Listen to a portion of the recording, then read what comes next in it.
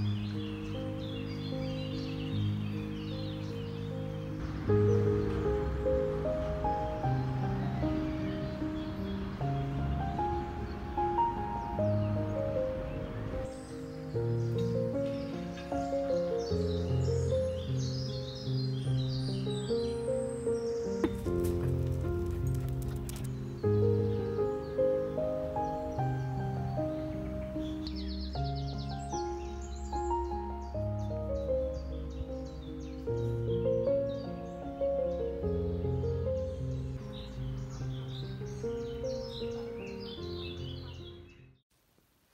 Guten Morgen, meine Lieben. Hi.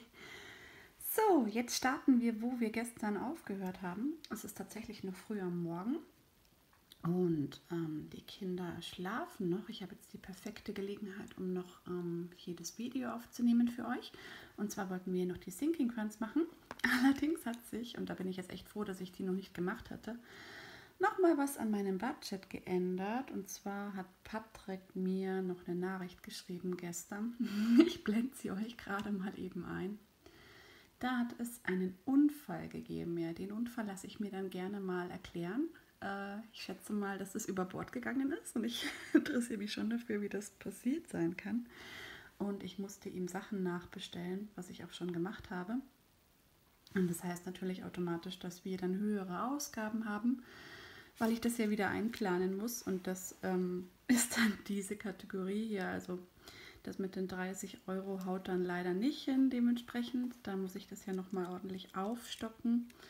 Ähm, ich würde die 30 jetzt mal ändern in 110.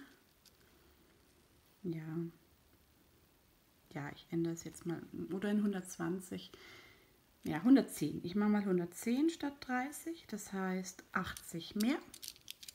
Und muss dann leider hier unten auch ändern, dass das 780 sind. Ne? So schnell geht es wieder. Das heißt, statt 1270 haben wir nur noch 1190 und ich weiß, nur noch ist da das Falsche, ne? weil das ist wirklich viel Geld und ich freue mich da auch mega darüber. Allerdings werdet ihr gleich mal sehen, wie schnell dieses Geld auch wieder wegverplant ist. Und zwar auf dieser Seite hier. Die habe ich neu gestaltet für unsere Sinking Funds. Und das da hier soll dann ähm, der Tracker sein für die Sinking Funds. Und ähm, was euch wahrscheinlich sofort auffällt, ist, ich habe neues Washi, aber ich habe das nicht selber gekauft, sondern ich habe das gestern von einer mega lieben Freundin geschenkt bekommen. Und ich habe mich so gefreut und ich habe ihr auch mehrfach gesagt, es ist echt nicht einfach, ähm, einer Minimalistin ein Geschenk zu machen, was dann für sie wirklich das Richtige ist. Weil dadurch, dass man ja so viel minimalisiert hat, dann hat man ja wirklich nur noch die Sachen, die man entweder unglaublich schön findet, also die einen unglaublich glücklich machen, oder die Sachen, die halt einen Zweck erfüllen. Und da ist man ja meistens im Haushalt eh schon gut ausgestattet. Also finde ich es wirklich unglaublich schwierig, dann noch was zu finden, ähm, worüber ich mich dann richtig freue und was ich dann richtig nutze.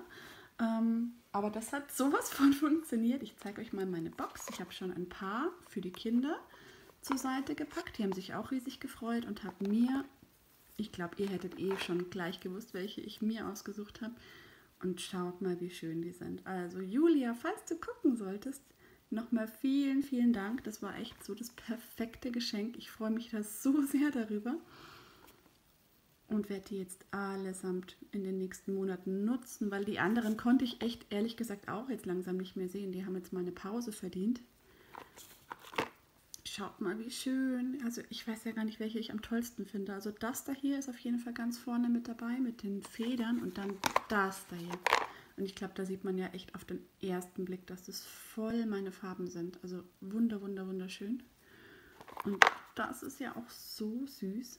Ne? Das erinnert ja wieder an das da hier. Irgendwie gefällt mir dieser Style total mit den Kakteen.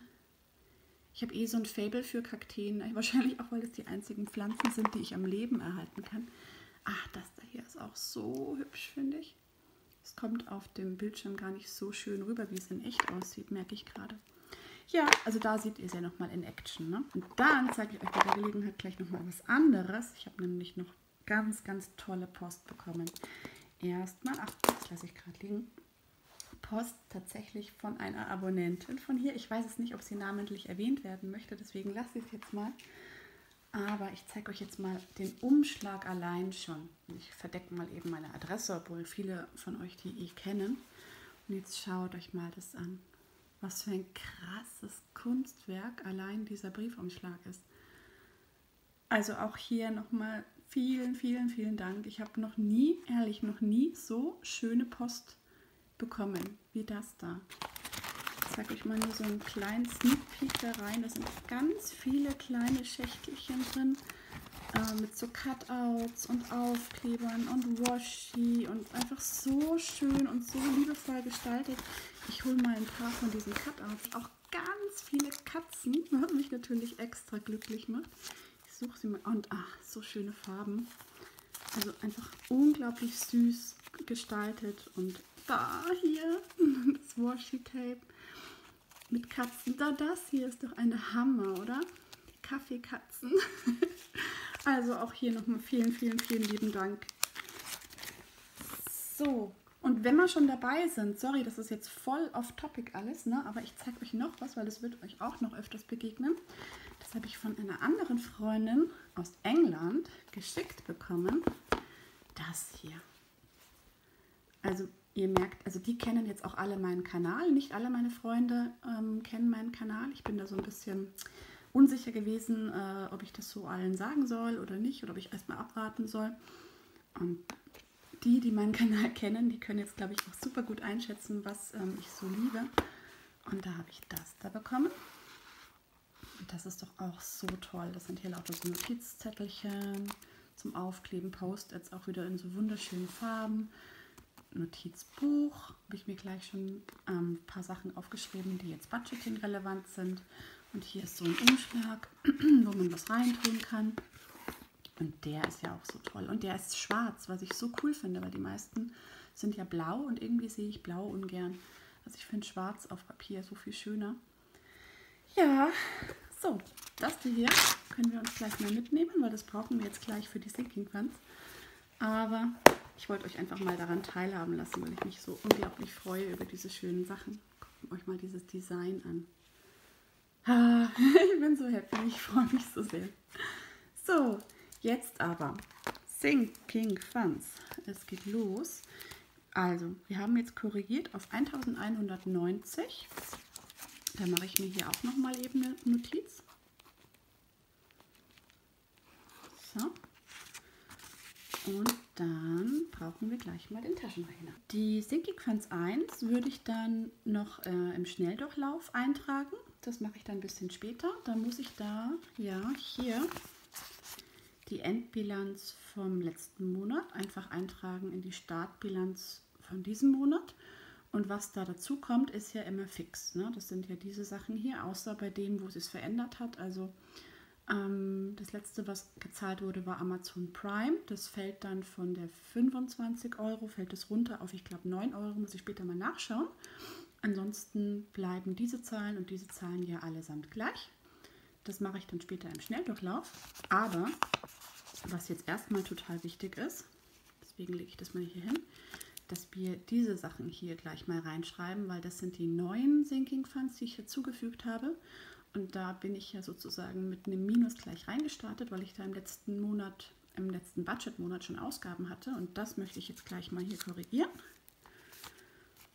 Also hacke ich mal die 1190, die wir zur Verfügung haben insgesamt, hier rein. Und davon ziehe ich jetzt schon mal 50 ab. Das ist, um das Porto auszugleichen. Ach, wisst ihr was? Ich ziehe davon jetzt wirklich die 49,20 Euro ab um das auszugleichen, weil ich werde kein neues Porto mehr brauchen, denke ich jetzt erstmal, weil ich bin ja versorgt. Ich habe ja dieses Online-Porto. Also hoffe ich jetzt zumindest, dass das hinhaut so. Dann sind wir hier bei 1140. Und da muss ich jetzt noch bei Porto, Post und Porto, so habe ich das genannt, steigen wir praktisch ein mit minus 49 Euro und 20 Cent und packen dann direkt 49,20 Euro dazu und sind dementsprechend hier wieder auf Null. Ich habe hier in dem neuen Sheet, weil ich mir da einen Platz gespart habe, nur eine Spalte für Plus sowie Minus. Da möchte ich das Minus ähm, in Rot eintragen und das Plus ganz normal mit dem Stift. Also ich schaue mal, wie das funktioniert ähm, mit dem Plus und Minus auf einer Spalte. Wenn das alles zu eng wird und zu unübersichtlich wird, dann muss ich mir noch mal was überlegen. Ich kann ja das da hier auch wirklich kleiner schreiben und dann könnte ich mir noch eine Spalte dazu leisten. Aber ich wollte es mal so ausprobieren. So, bei den Tieren ist es jetzt allerdings anders. Da bin ich 33,57 im Minus. Das schreibe ich jetzt mal hier rein. Minus 33 und 57. Und da möchte ich weitaus mehr reinpacken, weil da ja unglaublich viele Ausgaben jetzt erstmal auf mich zukommen. Ähm, da machen wir jetzt mal 200 rein. Das heißt, ich ziehe hier 200 ab. Das ist der aktuelle Stand jetzt, was ich noch an Geld habe für die Sinking Funds 2. Und hier schreibe ich plus 200 und lasse hier ein bisschen Platz frei für Minus, weil da wird sich in dem Monat mit Sicherheit noch was tun. Gut, damit das hier schon mal erledigt. Jetzt schaue ich, wo ich sonst noch ein Minus habe. Das ist einfach so meine oberste Priorität, das Minus auszugleichen. Bei Kleidung bin ich mit minus 71,26 Euro in den Monat reingegangen, weil der Patrick ja diesen Shorty gebraucht hat, so kurzfristig. Für 80 Euro, wenn ihr euch erinnert. Ähm, da überlege ich jetzt gerade, ob wir was brauchen. Ich bin mir nicht ganz sicher, ob wir was brauchen, ehrlich gesagt. Ich würde mir jetzt da mal einen Puffer einplanen und würde mal 110 Euro reinpacken also plus 110 in den Kleidungssinking Fund.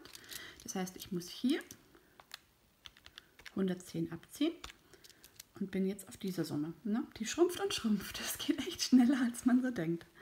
Damit hätten wir das Kleidungsminus ausgeglichen. Jetzt kommt nochmal ein großes Minus und zwar die Feiern. Da hatte ich ja mir meine Geburtstagsgeschenke gegönnt. Das waren 120 Euro, beziehungsweise da steckt auch das Geld für das Giveaway mit drin noch. Ähm, das heißt, bei Feiern hatten wir ein Minus von 120 und 52 Cent.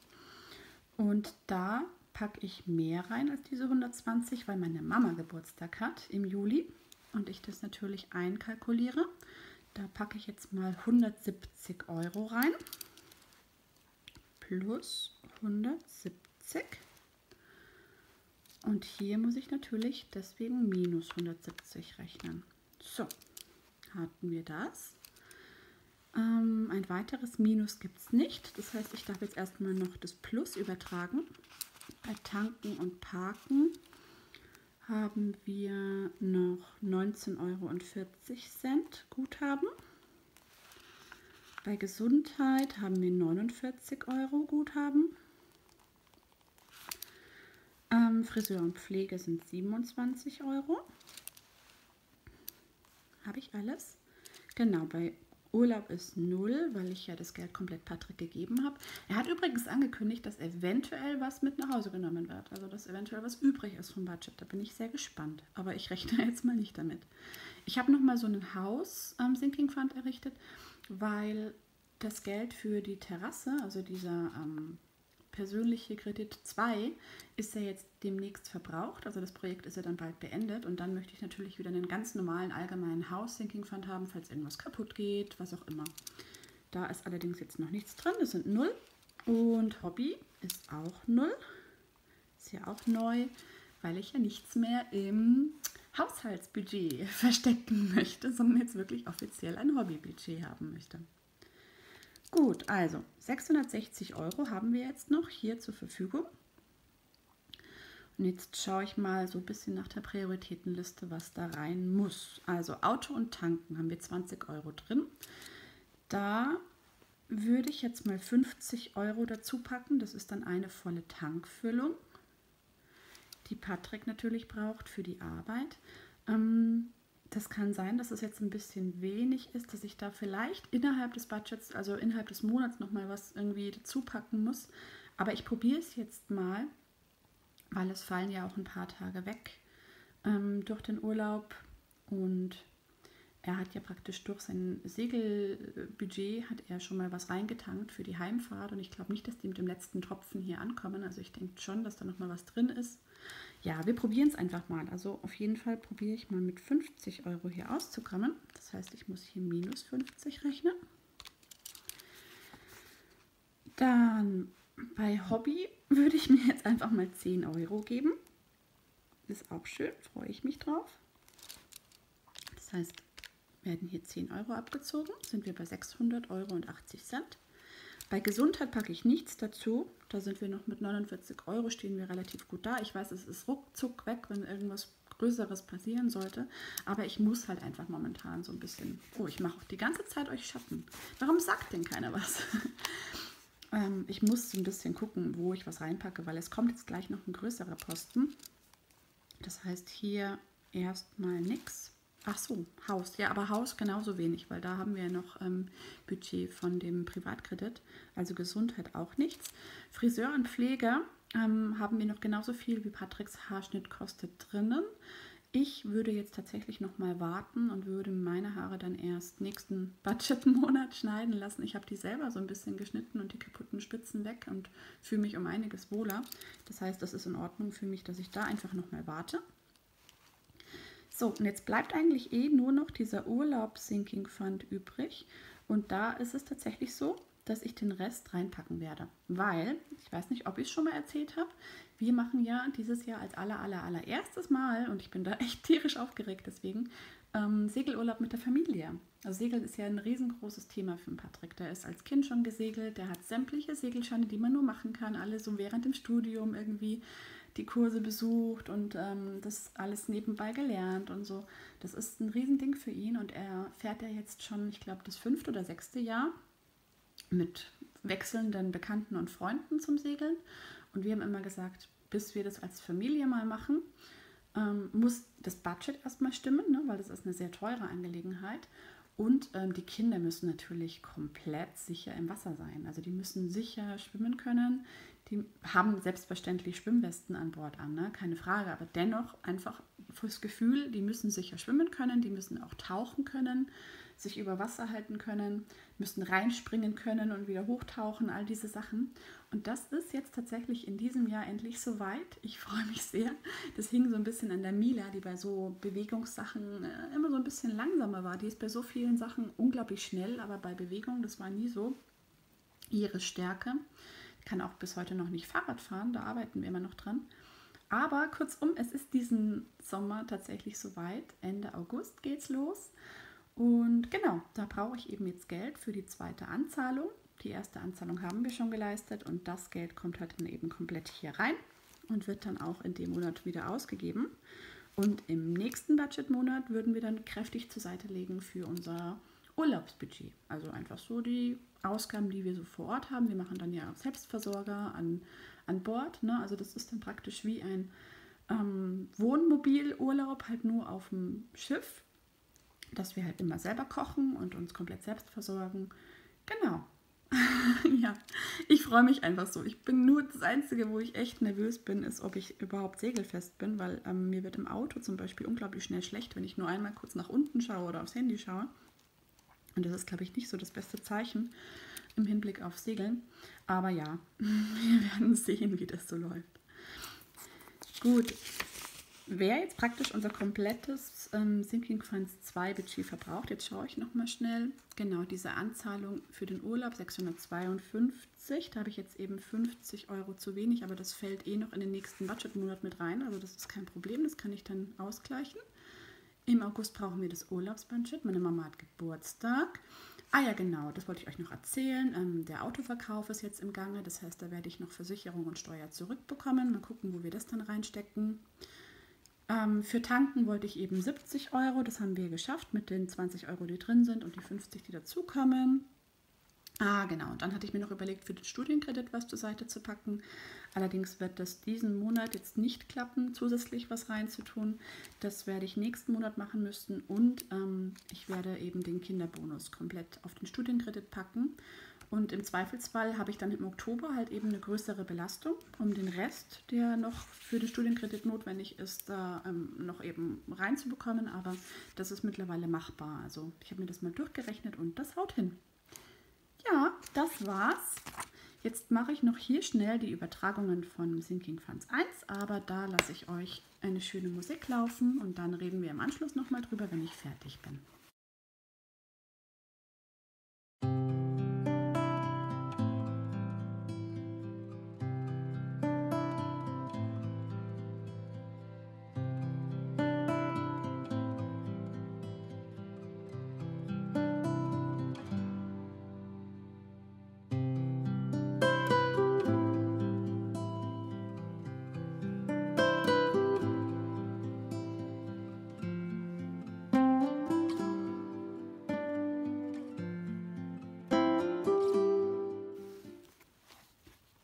Fertig. Hier sind wir wieder. Ich habe jetzt die ganzen ähm, Zahlen eingetragen und habe da jetzt ab und zu mal hier gucken müssen, wie ihr gesehen habt. Ähm, das ist ja so meine Übersicht, wo wir gerade stehen, was die Sinking Funds angeht. Da hat sich ja jetzt bei Amazon Prime was geändert. Da haben wir jetzt nur noch 6 Euro, weil ich das ja gezahlt habe im Juni. Ähm, sieht man hier, da ist noch 1 Euro drinnen, weil ich da mit runden Zahlen gearbeitet hatte. Also 69 hat es gekostet, 1 Euro war übrig und jetzt sind wir statt 25 Euro runtergerutscht auf die Basisrate mit 6 Euro, was mich natürlich freut. Und als kleine Vorausschau, Müll, ADAC als auch Grundsteuer sind alle drei jetzt im Juli fällig. Da haben wir jetzt die letzte Zahlung noch, damit die voll sind, 21, 23 und 30 Euro. Und die fallen jeweils runter. Statt 21 sind es dann 9, statt 23 sind es 9 und statt 29 sind es 14. Und das ist natürlich total cool. Das heißt, wir haben automatisch im nächsten Monat ordentlich mehr Geld. Ähm, ja, also wie gesagt, ich bin ja echt so, äh, also Sinking Funds, ich bin der größte Fan von Sinking Funds, den man überhaupt sein kann. Also so schaut es hier aus. Die Endbilanz dann dementsprechend im am Ende vom Budgeting-Monat. Was ich jetzt hier noch machen würde, ist, dass ich die Sachen markiere, die gezahlt werden in dem Monat. Das ist eben Müll, ADAC, Grundsteuer und auch hier oben die Stadtwerke, ne, weil die ja zweimonatlich fällig sind. Oh, ich habe heute irgendwie eine wackelige Hand. so, genau, das sind die Sachen, die aktuell gezahlt werden müssen. Nochmal so als Erinnerung an mich. Und so schaut es jetzt eigentlich bei uns aus. Also jetzt kann ich mal das da hier abheften. Ähm, demnächst mache ich mal einen Rückblick auf sechs Monate Budgeting. Ich hoffe, dass das was ist, was euch interessiert. Ich zeige euch mal so ein bisschen Sneak Peek mäßig meine ganzen Budget Sheets. Und also hier ist der Januar, Februar, März. Ich glaube, ab da wart ihr dabei. April, Mai und jetzt der Juni und die möchte ich mir mal in einem Video allesamt anschauen und so ein bisschen vergleichen, ein bisschen Rückschlüsse ziehen, was so sich getan hat in den sechs Monaten, was ich so gelernt habe. Genau, lasst mir doch einen Kommentar da, ob das was ist, was euch interessiert. Ähm, ansonsten mache ich das nur für mich im stillen Kämmerlein, falls das jetzt nicht so auf Interesse stößt. Genau, das war es von mir. Ich wünsche euch noch einen wunderschönen Tag. Wir sehen uns auch gleich morgen wieder. Und deswegen gibt es morgen dann schön ein Cash Envelope Stuffing Video, mein allerliebstes Budgeting Video überhaupt. Und genau, ich freue mich, wenn ihr wieder einschaltet. Bis dann, ciao!